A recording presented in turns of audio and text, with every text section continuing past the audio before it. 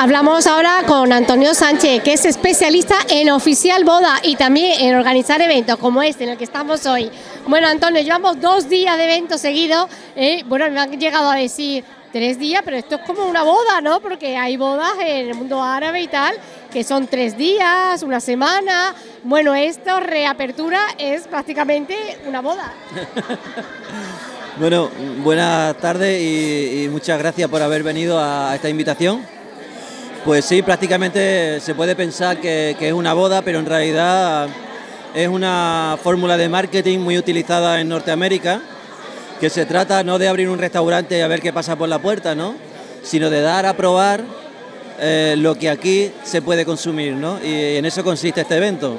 Entonces, como son tantísimas las empresas, los, amigos que tenemos, los conocidos, hemos hecho el evento durante tres días para darle cabida a todo y poder atender a todo el mundo en condiciones, ¿no? Eh, cuando entra la gente por la puerta se le busca mesa, se le acomoda, ¿no?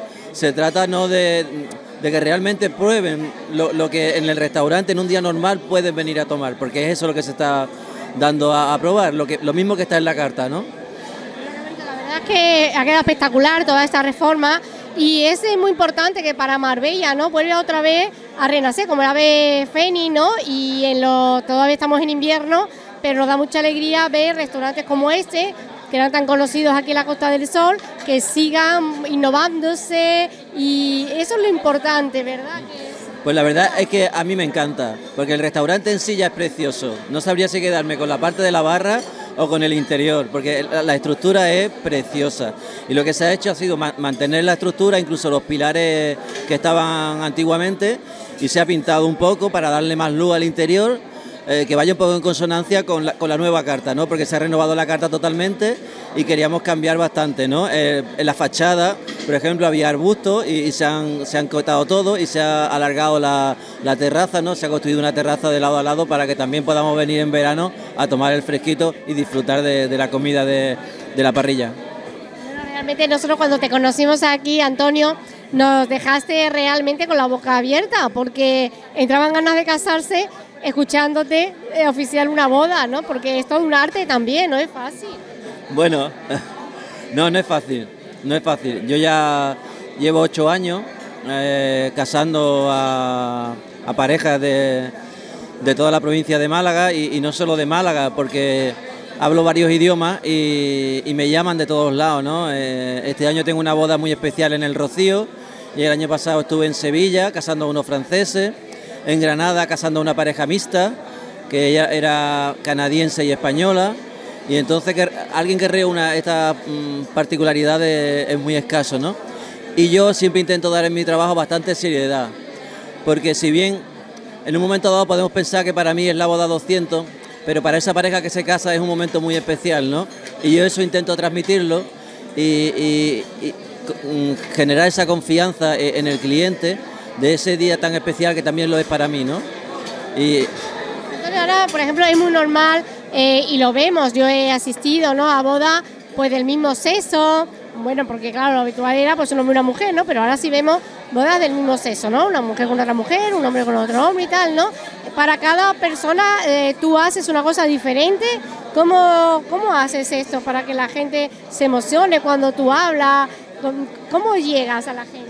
Bueno, principalmente eh, yo creo que me gano a los clientes por la confianza, porque intento demostrarles que es un momento muy especial.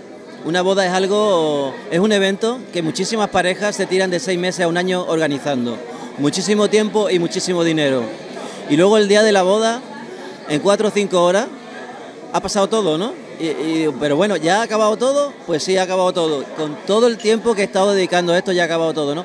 Entonces yo, desde la pequeña parte que me toca, que realmente es la más emocionante, la parte de la ceremonia, porque luego es bastante celebrar, ¿no? Pues entonces yo intento pues tranquilizarlo, decirle que es un evento familiar, que están con la familia, que no están delante de un tribunal en unas oposiciones. Entonces vamos a disfrutar, vamos a relajarnos dentro de lo posible y, vamos a ser cómplices de, la pareja en ese momento y disfrutar de, ese evento, ¿no? Y nada de, carrera, para arriba y para abajo, porque si corres todavía va a pasar todo más deprisa, ¿no? Entonces tranquilito, atender a todo el mundo con tranquilidad y, verás qué bien te lo pasa. es muy curioso que las parejas eh, bueno, pues tienen prioridad por un horario del día, ¿no? ¿Cuál es ese horario? Bueno, eh, la, la mayoría de las parejas, a mí principalmente me gustan más las bodas de día, porque pienso que si te casas de día, tienes el día y la noche, no que si te casas de, mm, ya bien avanzado la tarde, se hace de noche enseguida, ¿no? Sí, sí, sí, cortísima. Y, y bueno, el año pasado pues tuve la, la ocasión de una pareja muy especial que querían hacer el intercambio de las alianzas al amanecer, ¿no? Entonces, bueno, pues nos tuvimos que venir unos días antes, a ver a qué hora salía el sol en la playa y para, para cuadrarlo todo y, ya yo sé el tiempo que mide mi, mi diálogo, ¿no? Y cuadrarlo todo para que en el momento que ellos estuvieran delante mía mm, y saliera el sol le dijera, ya podéis intercambiar los anillos y así fue, ¿no? Y la verdad para asombro de todos los invitados porque lo que dije fue, eh, y ahora que está saliendo el sol, podéis intercambiar los anillos. Y todos dijeron, ah, porque estaban tan concentrados en la ceremonia que nadie se había percatado que eso estaba saliendo. Pero yo lo tenía bastante controlado. Y la verdad que lo que me dijeron es, ¿y cómo lo has hecho? ¿Y cómo lo has hecho? Eh, ¿Cuál es el momento mm, más emotivo, ¿no? De la ceremonia. Bueno, pues lo más emotivo, eh, y la verdad es que últimamente hay mucha gente animada, es cuando los, los invitados, los familiares te dedican unas palabras. A veces me hacen hasta llorar a mí, ¿no? Eh, se dicen unas cosas muy emocionantes. Imagínate, eh, teníamos una ceremonia donde eran una familia española y la otra alemana, ¿no? Y llega la hermana de, la novia, que es alemana, y se dirige a, a la pareja. Los dos hablan alemán, aunque sea el chico español, los dos hablan alemán. Bueno, ¿qué le estaría diciendo que el chico no paraba de llorar? Cuando yo miré la fila de, de los alemanes, todo el mundo llorando, pero como los dibujitos animados, ¿no? Así, ¡guau! Bueno, cuando yo vi eso, no, no pude contener la emoción y me- se me saltaron las lágrimas, sin entender ni una sola palabra de lo que estaban diciendo, ¿no? Imagínate cómo sería el momento, ¿eh?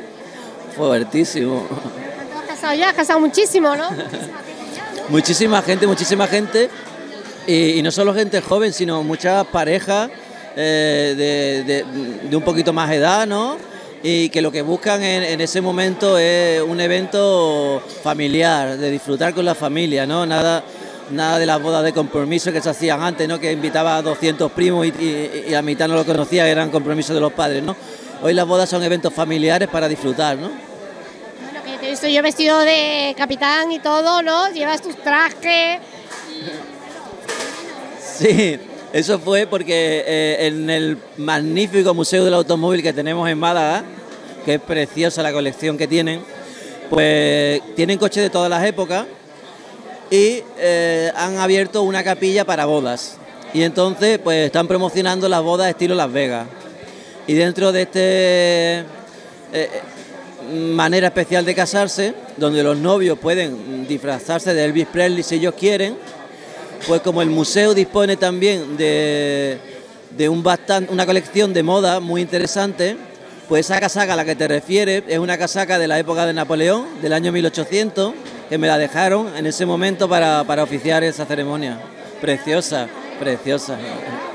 Sí, sí.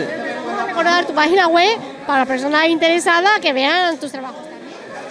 Bueno, pues es muy fácil. Yo mm, me pueden localizar a través de Bodanova, bodanova.es y llamando o entrando en la página web me, la- me localizan fácilmente. Una última frase mm, de boda para finalizar la entrevista. Pues, pues normalmente eh, puede besar a la novia. Gracias. Muchas gracias, un placer.